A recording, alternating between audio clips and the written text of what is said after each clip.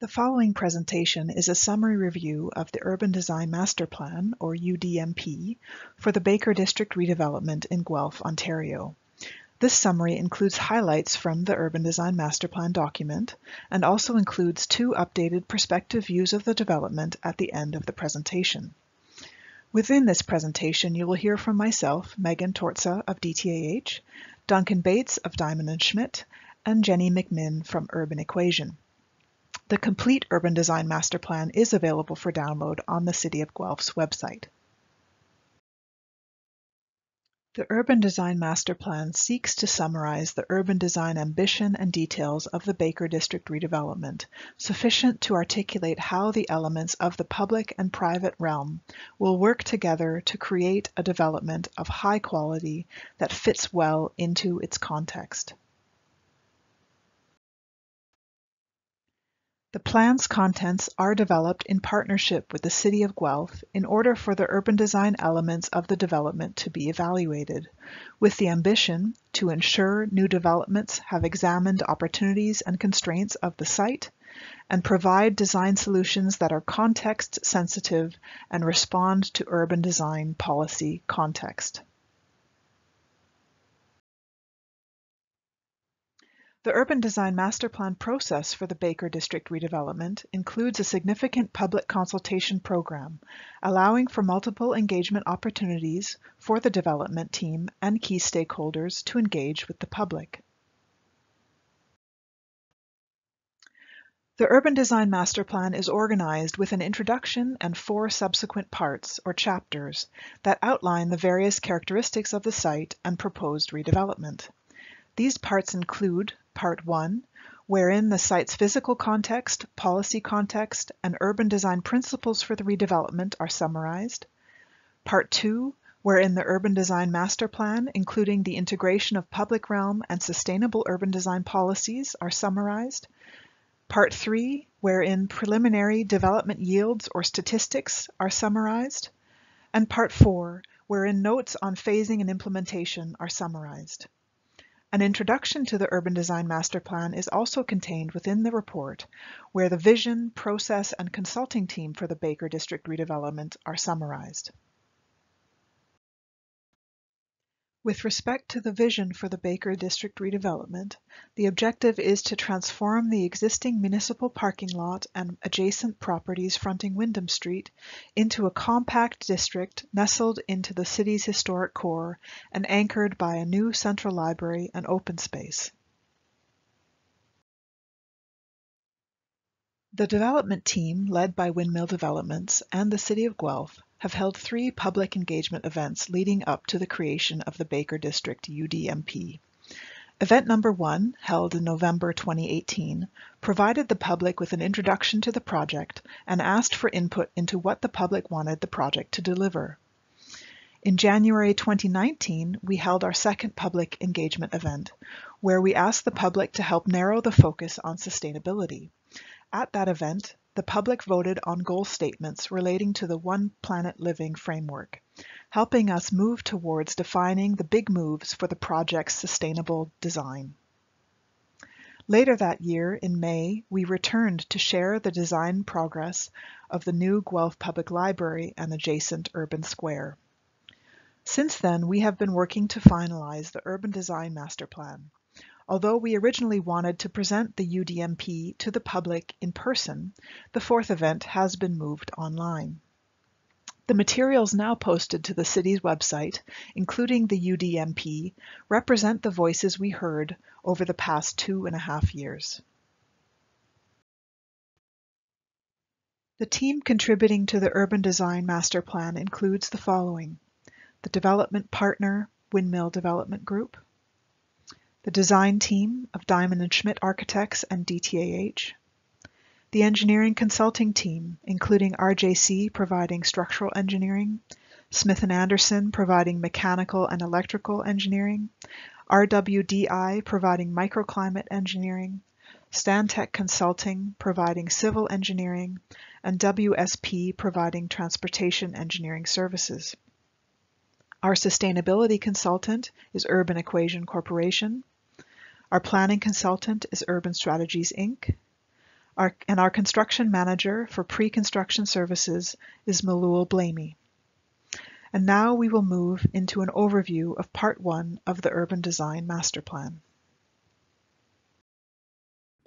The Baker District redevelopment is located on the large, irregular block bounded by Chapel Lane to the south and southeast, Wyndham Street to the northeast, and Baker Street to the west, in the northern part of downtown Guelph. The Baker District redevelopment site, known as the site throughout the UDMP, comprises the city-owned Baker Street and Wyndham parking lots and adjacent properties on Wyndham Street that will permit active frontage for the development. The city is currently working to acquire the two Wyndham Street properties in order to implement the development proposal outlined in this master plan. These two buildings are known municipally as 146 and 166 Wyndham Street. The site's history is extensive and includes indigenous occupation, as well as its use as public burial ground, an industrial site where sewing machines were manufactured, a lawn bowling club and curling club, and most recently as a parking lot. A total of five archaeological investigations have been undertaken in and around the Baker District redevelopment site in the last two decades. The site today is relatively flat and without significant existing landscape. The bedrock is between 5 and 8.5 meters below grade, and some soil contaminants exist and will be removed at the time of excavation. The site is flanked by heritage buildings including the designated Dominion Public Building at 138 Wyndham Street North, and several churches and other bu buildings on the Municipal Heritage Register. Part of the analysis of the site's physical context is understanding is the understanding of the existing pedestrian network in and around the site and consideration of how the development will contribute to that network. The proposed site plan has been designed to integrate, integrate well with existing pedestrian patterns in the downtown. The plan has evolved to include three separate buildings to enhance porosity of the site and encourage connections to the surrounding streets. These buildings also frame a new publicly accessible street extending from Wyndham Street to Baker Street, and a new urban square fronting onto Wyndham Street and marking the entrance to the new public library. The new public street crossing from Wyndham Street North to Baker Street, known as Library Lane in the UDMP, will provide accessible entry to the library and other buildings within the redevelopment. Additionally, it will be designed to accommodate active transportation as well as special events with surface materials that treat it as an extension of the urban square. The new urban square fronting Wyndham Street will add to the existing network of urban parks in the downtown, complementing Market Square at City Hall as well as St. George's Square, while also defining a new northern gateway to downtown Guelph. Another important consideration in regards to the site's existing context are the various existing and proposed views framed and supported by the redevelopment.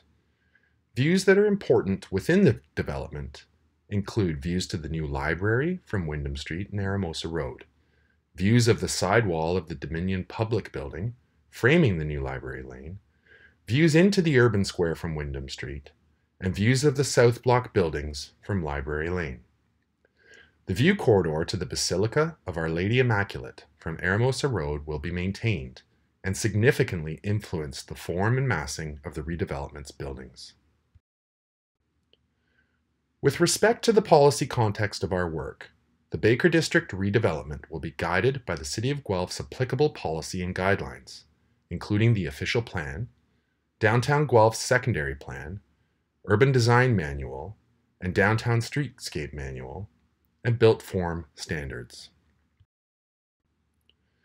The vision, principles, and objectives of the Downtown Guelph Secondary Plan are upheld and reinforced by the 12 urban design principles outlined in the Urban Design Master Plan.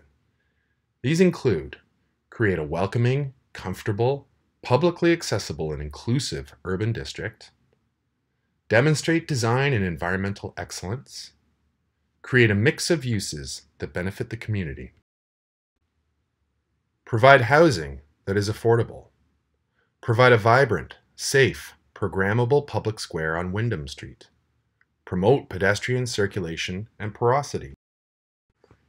Reconnect to the river. Make connections to the arts and Indigenous communities. Protect views and create view opportunities. Material compatibility with historic fabric. Demonstrate best practices in multimodal transportation and parking integration. Design for a comfortable microclimate. Further detail on how each principle applies to the Baker District redevelopment is contained within the Urban Design Master Plan. So moving now to part two of the UDMP. The master plan for the Baker District redevelopment responds to the urban design principles as set out in part one. As stated previously, the master plan anticipates the development of three new buildings as part of the Baker District, along with a new east-west street, referred to as Library Lane, and two new publicly accessible open spaces, the urban square on Wyndham Street, as previously described, and Baker Court. Contained within the UDMP are representations of the Baker District redevelopment at a variety of levels of detail, ranging from simple massing models to more detailed plans. Currently in the schematic design phase of development, the design of the Baker District continues to evolve, and therefore the content contained within the UDMP represents the project's team design intent with respect to the buildings and landscapes to be built as part of the redevelopment. In particular, the details associated with the Guelph Public Library scale and spatial organization are in progress and influenced by a separate design process beyond that of the residential components of the redevelopment. As the final details are not yet known, precedent images are used to demonstrate design intent. The landscape and public realm concept of the Baker District redevelopment prioritizes pedestrian porosity and the development of publicly accessible open spaces that are flexible to accommodate a range of uses throughout the year. Incorporating a new east-west street as well as a series of new publicly accessible open spaces, the landscape concept situates the new buildings within a ground plane of pavers, planting and seating, and art, inspired by districts such as the Distillery District in Toronto, where a material-rich ground plane runs uninterrupted between buildings, and where pedestrian amenities such as seating, lighting, planting, and public art are all coordinated within a simple palette of materials and details. Flanked by public rights-of-way on all sides, the redevelopment's principal addition to the street network is the proposed Library Lane, intended as a plus or minus 20 meter, two-way, pedestrian priority street that may be closed off to traffic during special events in order for the adjacent public spaces, including the urban square, to spill out safely into the street. Library Lane is publicly accessible and beneath it extends the underground parking structure for the redevelopment. To support the redevelopment, Baker Street is assumed to be converted to a two-lane, two-way right-of-way. It is assumed to be approximately 18 meters in width, with parking on either side, as can be accommodated, considering existing curb cuts, access points, and building frontages. Chapel Lane is intended to continue to act as a service laneway for properties on Quebec and Wyndham Streets, while also providing vehicle access to the southern underground ramp to the Baker District's underground parking structure. In the long term, it is assumed that Baker Street will be further improved by paving, planting, and curb details characteristic of a flexible street as described in the City of Guelph's Downtown Streetscape Manual. Wyndham Street is anticipated to be improved also as per the Downtown Streetscape Manual to include a narrowing of the asphalt width, reconfiguration of on-street parking provisions, and improved planting. Chapel Lane may also be improved long-term renovated to adopt more material aspects of the Downtown Streetscape Manual akin to the precedent of Douglas Street. These improvements are assumed to be undertaken by the City of Guelph.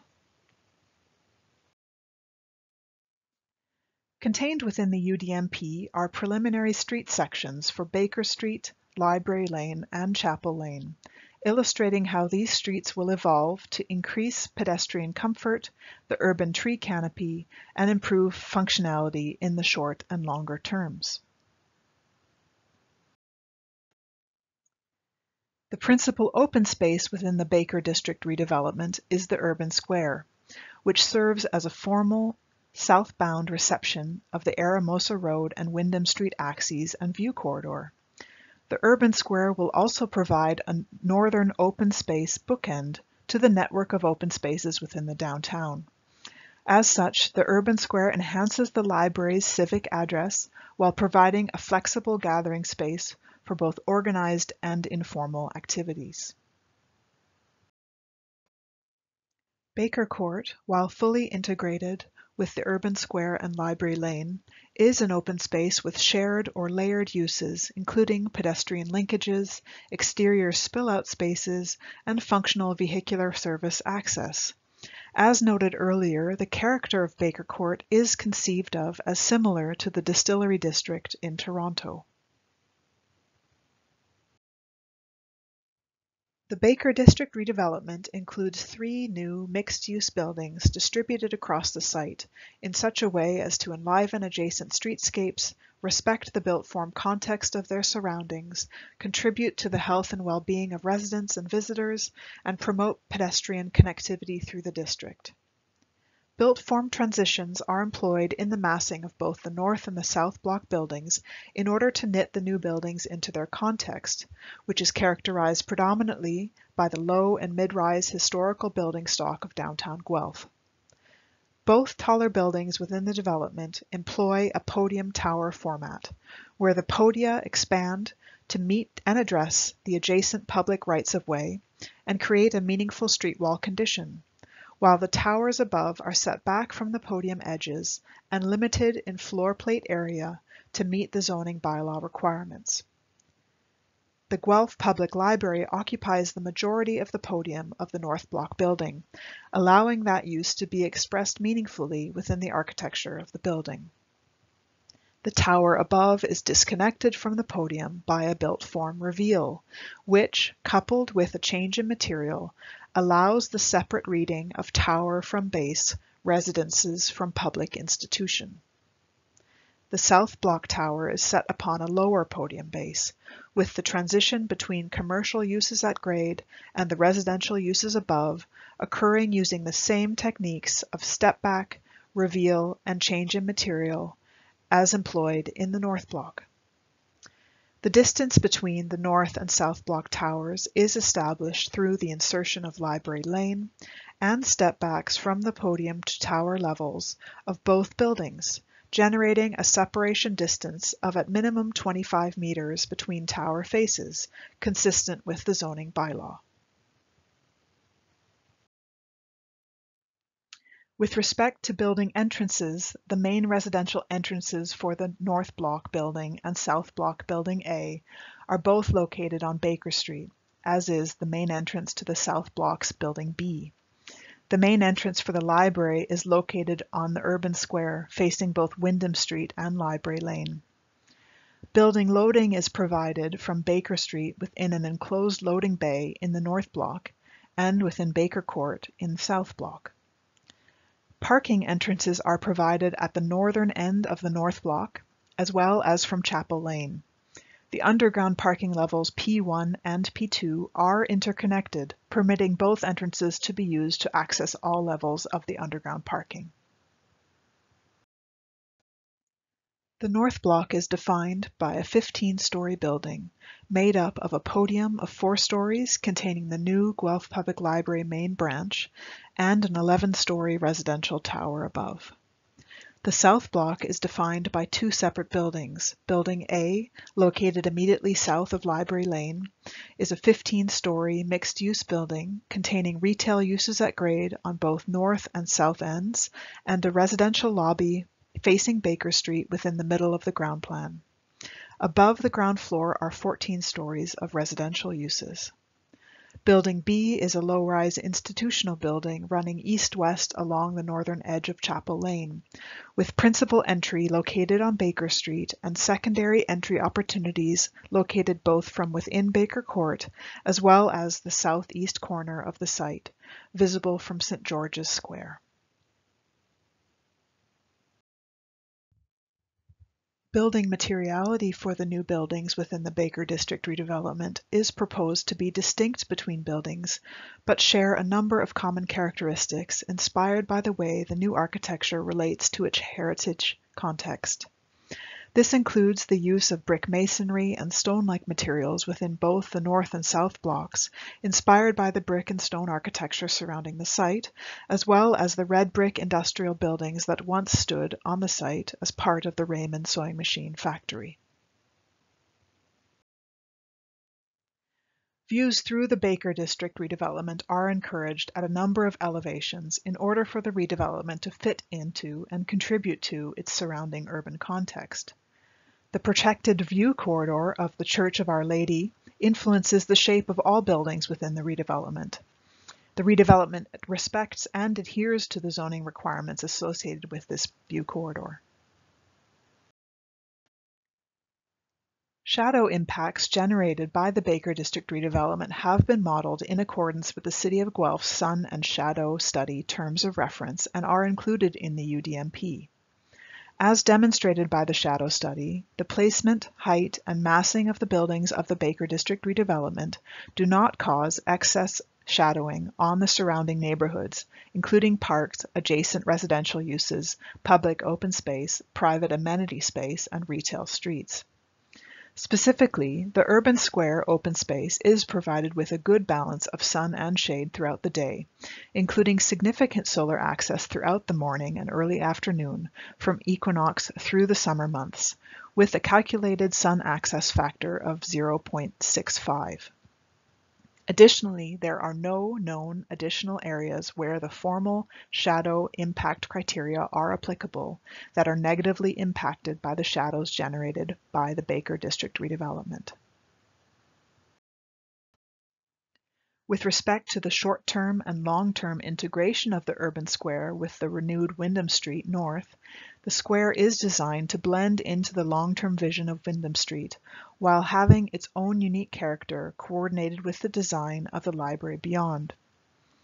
In the short term, the sidewalk on Wyndham Street will pass uninterrupted along the eastern frontage of the urban square, whereas long-term more opportunity for street tree planting and pedestrian realm improvements along Wyndham Street will allow the urban square to visually expand to the east. In both the short and the long-term vision of the urban square, it's designed to be compatible with the materials used in Library Lane. With respect to the short-term and long-term integration of the Baker Court within the renewed Baker Street and Chapel Lane, Baker Court is designed with compatible materials to both Library Lane to the north and the renewed Chapel Lane to the south. In the short term, Chapel Lane will remain an asphalt laneway, whereas in the longer term it is anticipated that Chapel Lane will be improved so that the language of unit pavers and other details will extend the full width of Chapel Lane. The sustainability plan for the Baker District was designed using the One Planet Living framework. We refer to the plan that we put together for the Baker project as the Baker One Planet Action Plan. One Planet Living has been used to ensure the Baker District's residents, workers, and visitors can live, work, and play within the Earth's resources. The One Planet Action Plan addresses all 10 of the One Planet Living's sustainability principles. We have addressed outcomes, indicators, and targets for each of these principles, which will help guide decision making from design through to construction and eventually operations. The 10 One Planet Living principles are comprised of health and happiness, equity and local economy, culture and community, land use and wildlife, sustainable water, local and sustainable food, materials and products, travel and transport, zero waste, and zero carbon. Although all 10 of the One Planet Living principles are important, some activities will have a bigger impact on our communities than others. In order to help the project team understand where to focus our efforts, we conducted what is called an ecological footprint for the whole city of Guelph to help us understand how the Baker District specifically could better reduce its own ecological footprint. We know already that the way that we live as Canadians is unsustainable. If everyone lived like an average Canadian, we would need about five planets worth of resources to sustain our consumption habits. What we calculated is that in Guelph, the city is using about four and a half planets. As you know, we only have one planet. We need to plan so that everyone, everywhere, lives happy, healthy lives within the planets, within the limit of the planets, rather, while leaving space for wildlife and wilderness. In order for us to focus our efforts on those areas with the greatest environmental impact, we completed this ecological footprinting for the city of Guelph.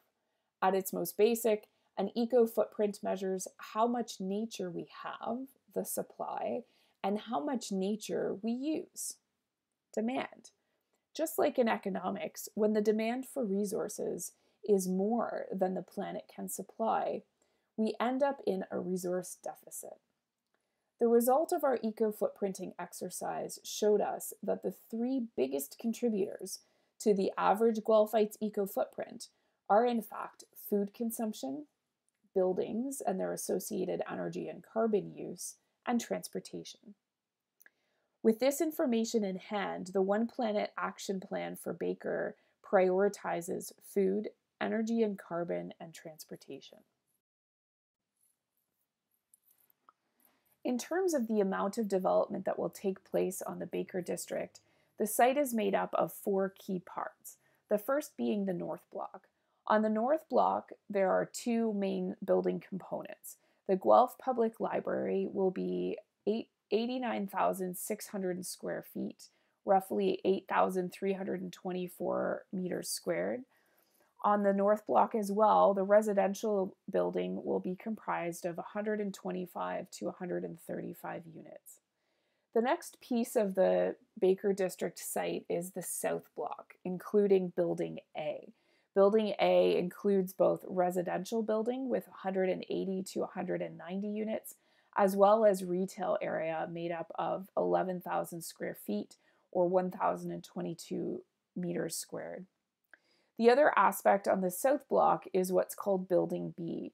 It will likely be made up of institutional area comprised of about 62,100 square feet or 5,770 meters squared.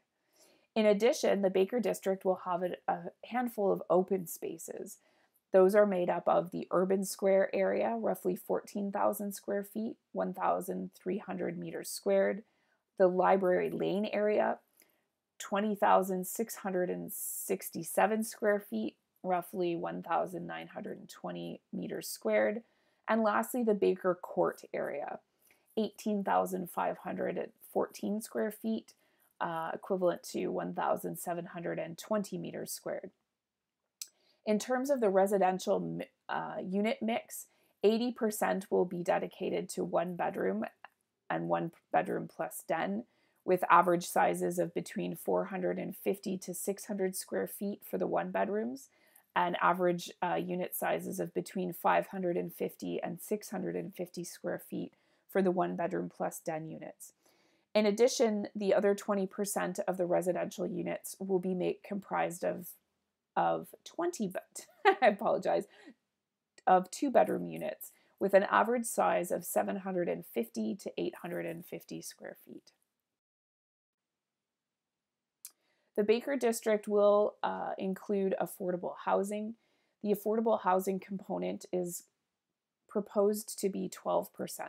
Discussions are underway with the City of Guelph to identify a funding mechanism to support uh, the, incorporation of affordable housing units on site. In terms of phasing and implementation, Uh, in June of this year, uh, we are doing our final public presentation. In the summer of 2020, reports will be reviewed by city staff. In September of 2020, the Urban Design Master Plan will go before Council. In spring of 2021, we will launch sales for the North Tower uh, and begin construction. And in fall 2023 to spring 2024, uh, we're aiming for pro full project completion. In parallel to the urban design master plan effort, the design team has been developing the schematic design for the Baker District. And to mark the completion of the schematic design phase, Windmill commissioned two new views of the redevelopment in this first view, as described within the Urban Design Master Plan, the district is seen from the northeast, including the new urban square facing Wyndham Street and the new east west library lane connecting Wyndham to Baker Street. The new library frames the urban square, with one arm reaching out to Wyndham Street. Above the library podium, the North Tower contains approximately 130 residential units. On the south side of Library Lane, the South Tower includes retail in the street related podium and approximately 185 residential units above. Along the southern edge of the site, Building B can be seen, which is planned for non residential uses, which could include institutional, office, or education. Podium rooftops and lower terraces will provide opportunities for urban agriculture and community gardens, whereas tower rooftops will be available for solar panel installation. In the second view, the urban square is highlighted. The Baker District will be a landmark for mixed use projects, carefully integrated to the downtown context and featuring a new prominent urban square and public library facing Wyndham Street. It will be a green and vibrant community based on the One Planet Living framework, with a particular focus on low carbon the incorporation of urban agriculture and healthy living, and providing a sustainable transportation strategy that emphasizes active transportation options while also providing underground parking to meet the evolving needs of the community today and into the future. As a new home to approximately 500 residents, it will become a vibrant node within the downtown and bring new life and vibrancy to this historic city center.